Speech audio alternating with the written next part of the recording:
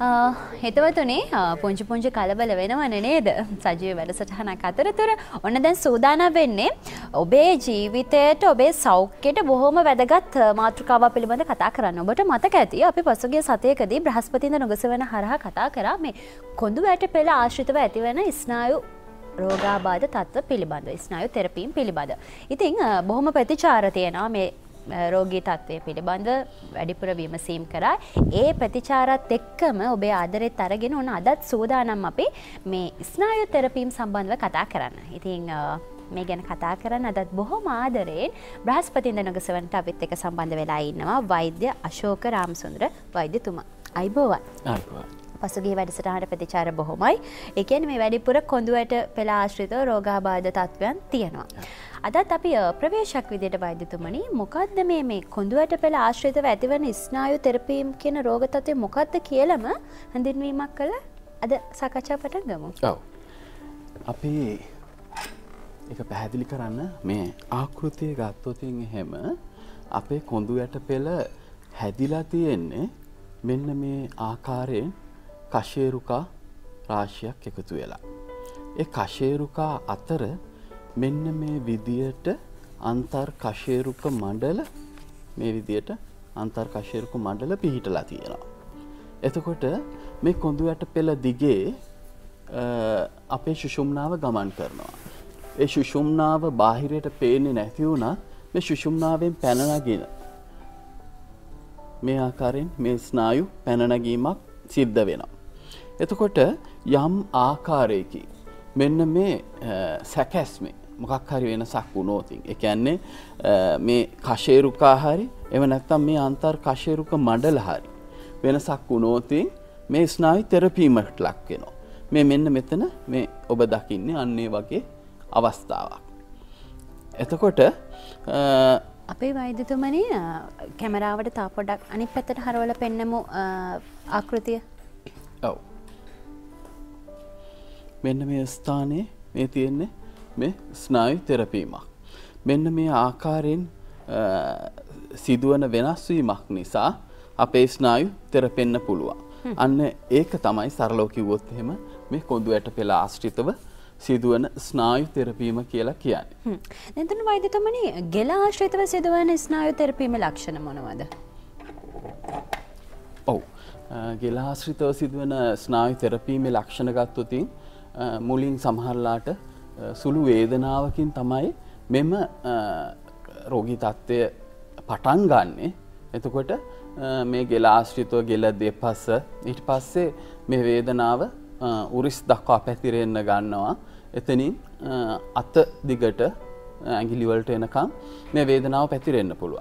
ක්‍රමක්‍රමයෙන් මේ වේදනාව වැඩි වෙලා අත උස්සන්න බැරි තත්ත්වයට එහෙම නැත්තම් අත දිගේ අපි කියන විදුලියක් යනවාගේ කරන්ට එකක් වදිනවාගේ දැනෙනවා කියලා කියනවා.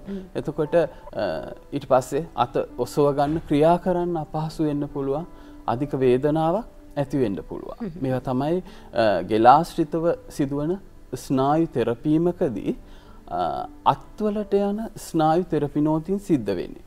මේක අපි මීට වඩා තීරුව විදියට ස්නායු තෙරපීම වුණෝතින් සමහර වෙලාවට සුෂුම්නාවම තෙරපෙන්න්න පුළුවන්. එහෙම වුණෝතින් එහෙම එක අපේ මුළු ඇඟටම බලපාන්න පුළුවන්. සමහරලාට මුළු ඇඟම අප්‍රාණික බවට පත්වෙන්න වනත් පුළුවන්. දැන් ගොඩක් වෙලාවට අපේ හනමේ ඔය කරන්ට එකක් යනවා වගේ කියන කතාව අපි වැඩිපුර අහනවා. ඒවගේම තම මේ බෙල්ල කොඳුවැට පෙළ වගේම තම උරහිස.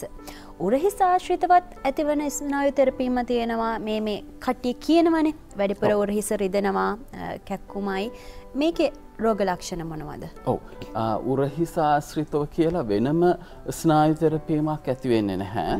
ගෙලා ආශ්‍රිතව සිදුවන ස්නායු තෙරපීමෙන්ම තමයි මේ උරහිස ආශ්‍රිතව ඇතිවන වේදනාව ඇතිවෙන්නේ. බොහෝ විට අපිට උරහිස ආශ්‍රිතව තමයි මේ ගෙලාශ්‍රිතව ඇතිවෙන ස්නායු තෙරපීම වේදනාව ඇතිවෙන්නේ සමහරලාට ගෙලෙහි වේදනාවක් නැතු වනත් මේ උරහිස ප්‍රදේශය වේදනාවක් ඇතිවෙන්න පුළුවන්. දැන් වෛදතුමනි මේ ඇතිවන රෝගී තත්ත්වය මේ ස්නායු තෙරපීම ඇතිවීම සෑම කෙනෙකුටම එකම ආකාරයෙන්ද සිදුවෙන එහෙම නැත්නම් මේ තෙරපීම් සිදුවන ප්‍රබේද තියෙනවද. ඔව් මේක සෑම කෙනෙක්ගේම එකම ආකාරයෙන් සිද්ධ වෙන්නේ නැහැ. අපි මේක ආකාර කීපයකින් බෙදා වෙන් කරලා දක්වන්න පුළුවන්.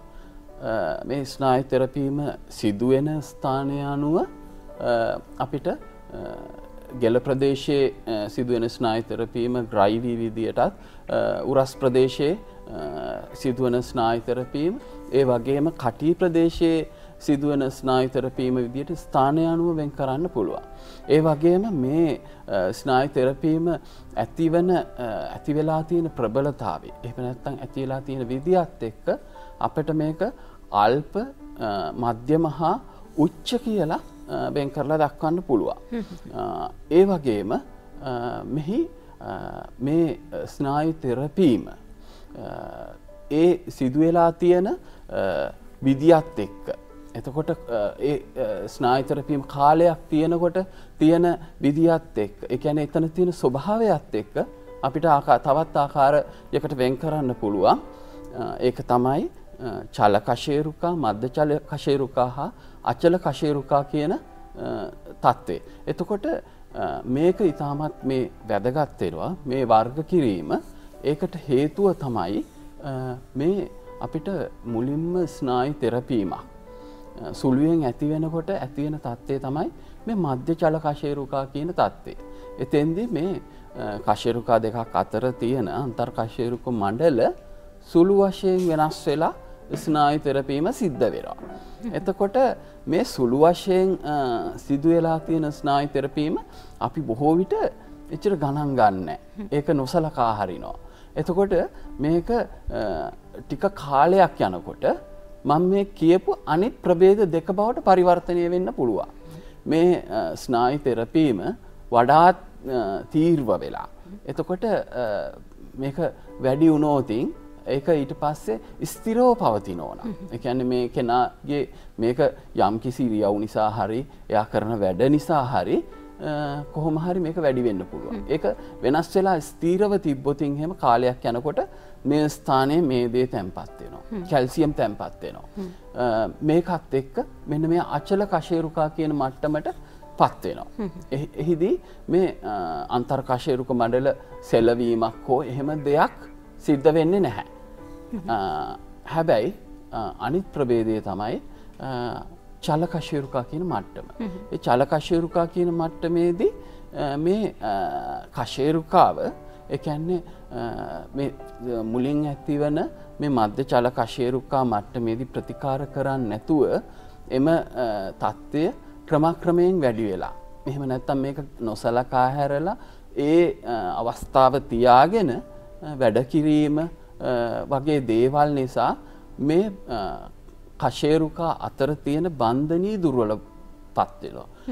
එහෙම තුර්වල බවට පත්වනාට පස්සේ මේ අන්තර්කශේරුක මඩල ගමන් කිරීම එහාට මෙහාට චලනය වෙන බවක් ඇති වෙනවා.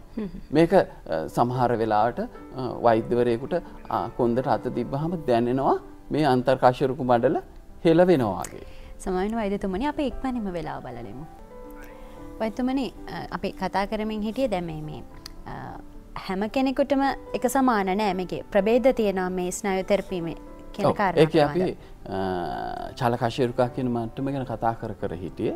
ඉතින් මෙන්න මේ අවස්ථාවද නිතරම චලනය වෙන බවක් මේ අන්තර්කශයරුකු මඩල තියෙනවා. අපේ ශරීරයේ බර වැටෙන අවස්ථාවල් වල තමයි මේ අන්තර්කශයරුකු මඩල විස්ථාපනය වෙලා ගිහිල්ලිල්ලා ස්නායු තෙරපීම සිදු කරන්නේ.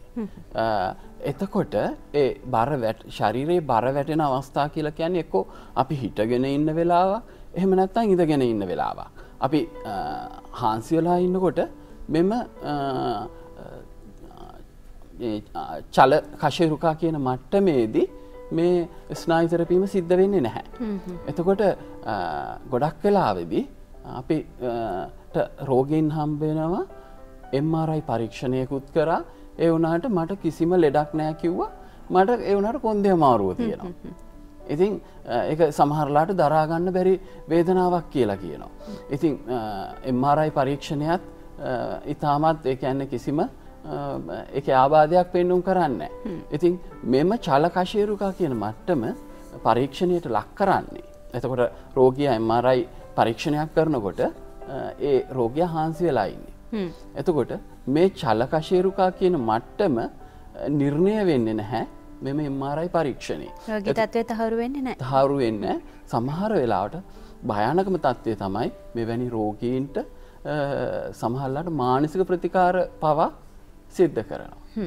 දැම අපි දකින්නේ මෙවැනි ස්නායු තෙරපිම් රෝගී තත්වයන්ට ප්‍රතිකාර කරන ආකාරය දැන් මෙහෙම අපි කතා කරම වෛදතුමනි දැන් අපි මෙවැනි රෝග සඳහා විවිධ ප්‍රතිකාර පිළිබඳ කතා කරන විවිධ ප්‍රතිකාර ක්‍රම අපි දැකලා තියෙනවා. නමුත් මේ සියලු ප්‍රතිකාරවලට සාපේක්ෂව මේ සිංහල වෛද්‍ය ප්‍රතිකාර ක්‍රම වඩාත් සුදුසුයි කියලායි අපි කතා කරන්නේ. ඔව්. අපි මුලින්ම මේ සඳහා බොහෝ විට බොහෝ අය යොමුවෙන්න මුලින්ම බටහිර ප්‍රතිකාරවලට. මෙහිදී බටහිර ප්‍රතිකාරවලදී මුලින්ම භාවිතා කරන්නේ වේදනානාශක. වේදනානාශක කියලා කියන්නේ මෙම රෝගී තත්ත්වය සඳහා ඖෂධයක් නෙවේ. තාවකාලිකව වේදනාව නැති කරන ද්‍රව්යක් පමණයි. එතකොට මෙම වේදනානාශක බිව්ව කියලා මෙම වෙනස් වෙච්ච අන්තර්කාශයරකු මණ්ඩල ආපහු ආපස්සට ගමන් කරන්නේ නෑ. ඒ වගේම මෙහිදී තියෙන මේ වෙනස්වීම කාලයක් පවතිනකොට එහිදී මේ ප්‍රදේශයේ ඇතිවෙනවා ප්‍රදාහික තත්ත්වයක්. මේ ප්‍රදාහික තත්ත්වයට සමහරලාට එන්නත් භාවිතා කිරීම සිද්ධ වෙනවා. මෙම එන්නත් සහ අර වේදනානාශක ඉතාමත් අහිතර කර අතුරු විපාක සහිතයි. ඒ වගේම තමයි එහෙම හරියන් නැතිවුණෝතින් බොහෝ විට වෛද්‍යවරු ශල්්‍යකර්මවලට මෙම රෝගෙන් යොමු කරනවා. මෙම ශල්්‍යකර්ම ගැන කතාකරෝතින් මෙම ශල්්‍යකර්මයක් වැරදුනෝති සමහර වෙලාවට කොන්දේ සිදුවන ස්නායිතර පීමකට මේ ශල්්‍යකර්මය සිදුකරෝති සමහරලාට ඉනෙන් පහල සම්පූර්යෙන් සදාකාලිකෝ අප්‍රාණික වෙන්න පුළුවන්. ඉතින් මේ වගේ ප්‍රතිවිපාක තියෙනවා. අපි ආයුර්ේද ක්‍රමය ගැන කතා කරූතින් එහෙම ආයුර්ේද ක්‍රමයේදී මේ සඳහා එකන්න මෙම වෙනස් වූ අන්තර්කාශයරුක මණ්ඩල නැවත සැකසීම සඳහා ක්‍රමයක් නැහැ. එහිතිී සිද්ධ කරන්නේ මෙහ ඇතිවන ආයුරේදියෝ මේ හඳුන්නනවා ගෘද්‍රසි නාඩි ප්‍රදාහය කියලා.